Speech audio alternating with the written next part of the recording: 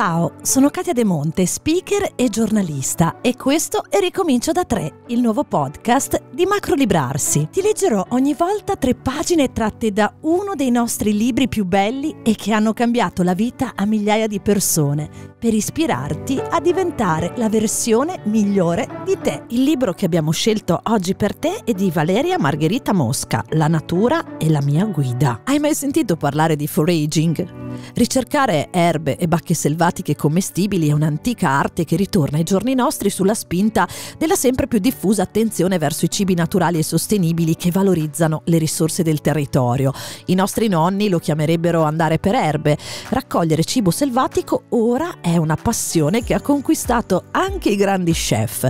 Dunque il foraging è una pratica centenaria che trova le sue origini nei paesi scandinavi e consiste proprio nel raccogliere ingredienti spontanei nel loro ambiente naturale. Cibo selvatico commestibile che poi viene utilizzato in cucina, totalmente a impatto zero, come recupero di alcune botaniche ormai dimenticate. In questo libro potrai scoprire quali fiori si possono mangiare, quali sono le radici più gustose, il tutto condito con una buona dose di curiosità su ciò che riguarda le singole piante. Pronto per scoprire di cosa si tratta? Leggiamo insieme alcune pagine. Buon ascolto!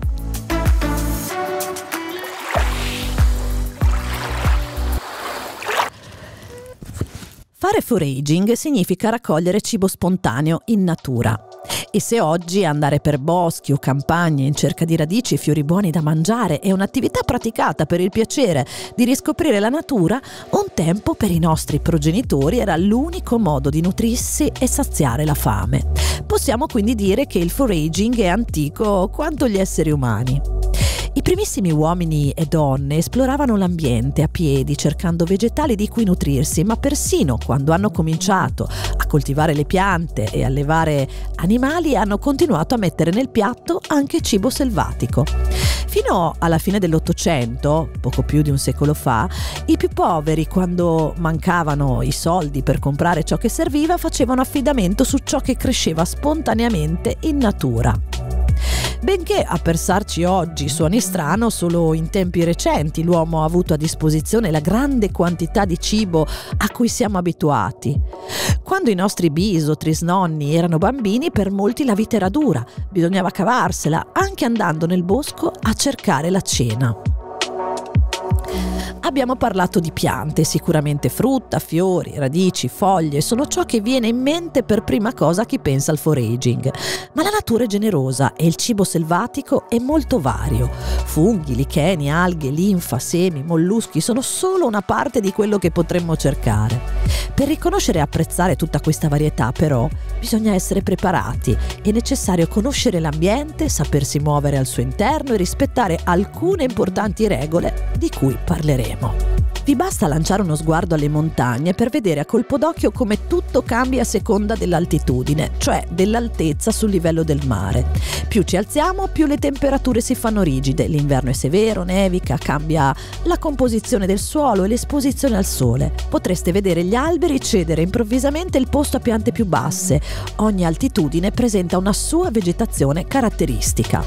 In cima crescono le piante erbacee basse, resistenti, spesso tra le rocce che caratterizzano caratterizzano il suolo di queste zone. Sotto, nella zona intermedia, si trovano fitte foreste di acero rosso, pino mugo, larice e arbusti nani come il ginepro o il rododendro. Scendendo ancora ci sono le foreste subalpine con conifere e la vegetazione bassa che ci cresce sotto, piante erbacee e muschio. In montagna potrete vedere una grande differenza tra le stagioni. Sui prati che d'inverno sono coperti di neve, in primavera sbocceranno decine di fiori colorati. Le regole del foraging in montagna. Non stancarsi troppo, misurare e dosare le energie è importante perché dopo essere arrivati dove volevate bisogna anche tornare indietro.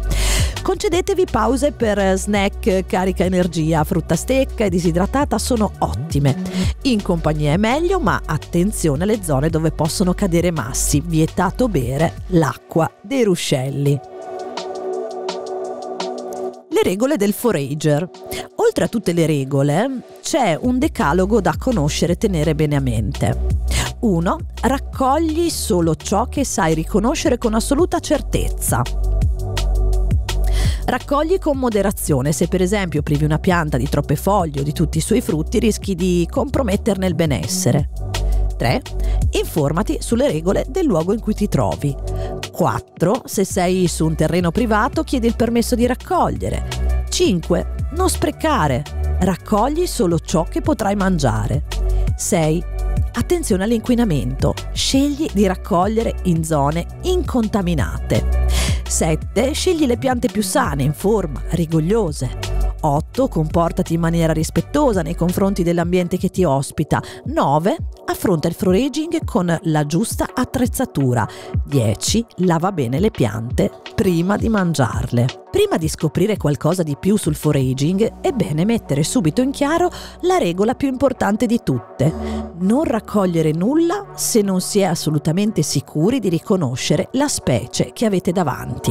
Il forager si spinge negli ambienti più incontaminati perché ciò che poi mangerà deve essere cresciuto lontano da fonti di inquinamento. In pratica è un escursionista con particolari competenze che si ciba di quello che sa riconoscere come buono.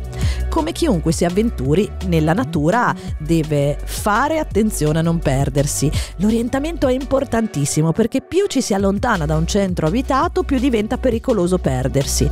Il forager esperto spesso lascia i sentieri più battuti orientandosi quindi con due importantissimi strumenti, la mappa e la bussola.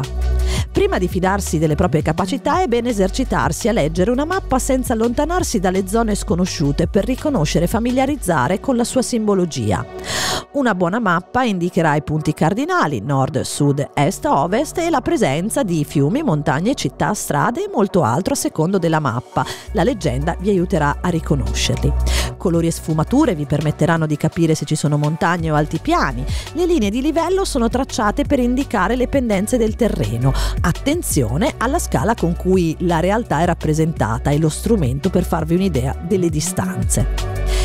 Scegliere i vestiti giusti. Quel che indossiamo fa la differenza. Prima di tutto bisogna considerare la stagione, poi il meteo che a seconda dell'ambiente che intendiamo esplorare richiederà un abbigliamento diverso. L'obiettivo è restare caldi se le temperature si abbassano, muoversi comodamente, mitigare l'effetto del caldo nelle giornate estive. Quando fa caldo meglio abiti non aderenti, di cotone che coprano interamente per proteggere dal sole e dagli insetti.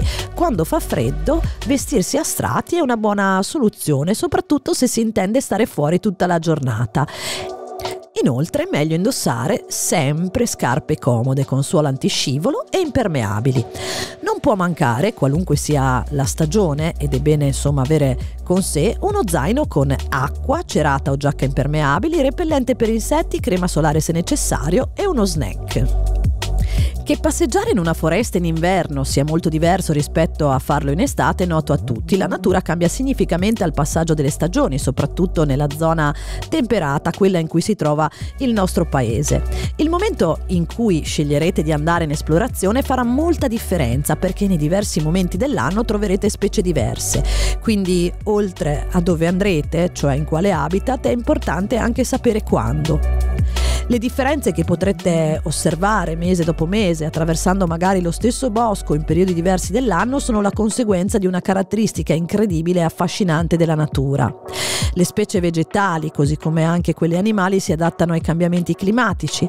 Lo fanno lentamente, poco alla volta, come risposta al mutare della luce o della temperatura di stagione in stagione. Sono adattamenti continui che noi, per comodità, pensiamo come legati a quattro macro periodi, le stagioni, ma che procedono continuamente per gradi.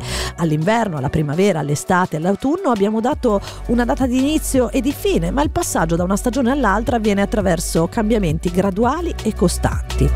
Il consiglio è di esserne consapevoli, di imparare a osservare ciò che accade ogni volta che vi trovate all'aria aperta, prestando attenzione a come diversi habitat si trasformino. Le temperature che si abbassano e poi si rialzano avranno conseguenze diverse per ogni zona. Immaginate cosa accade sulle Alpi ad alta quota con le prime nevicate e poi immaginate cosa accade nello stesso periodo sulla costa, in una foresta mediterranea. Dopo aver letto queste pochissime pagine di questo libro, Valeria Margherita Mosca, La natura è la mia guida, beh, viene sicuramente voglia di partire per un'avventura alla scoperta della natura. Quindi sappiate che attraverso questo libro potrete imparare tutti i segreti delle piante selvatiche, si possono conoscere le caratteristiche di ogni habitat in modo tale da sapere come affrontarlo, come muoversi, come esplorarlo e come goderselo poi al massimo. Ma come sempre la parola la lascio a voi che il libro lo avete già letto con tutte le vostre recensioni. Silvia scrive bellissimo libro per bambini ed adulti per trovare nella natura la nostra guida e il nostro cibo, assolutamente da avere. E Bruno scrive: Non sono un esperto di foraging, ma molto spesso con mio nonno lo praticavo. Riscoprire questo libro mi ha fatto ritornare ai bei tempi e voglio ricominciare a farlo. E nel salutarti voglio ringraziarti per avermi ascoltata in questo podcast di Macro Librarsi, il negozio etico online più grande d'Italia per il benessere green, la salute della terra e il benessere delle persone, alimentazione, libreria, erboristeria, eco bioshop e tanto altro. Scegli anche tu l'alternativa naturale. Infine, per seguire il nostro podcast Ricomincio da 3 e scoprire gli altri libri del cambiamento, il link è macrogo.to slash podcast e noi ci risentiamo alla prossima puntata per scegliere la versione migliore di te.